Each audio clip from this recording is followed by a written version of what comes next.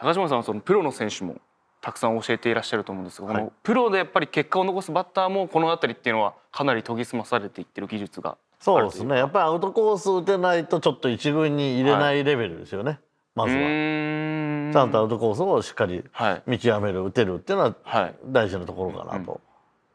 でそれができると今度はインコースをやっぱりどんどん使ってくるので、うん。インコースに対してどれぐらいうん。ちゃんとさばけるのか。うんだから内も外もっていける選手が大体3割を超えてくるバッターですよね。はい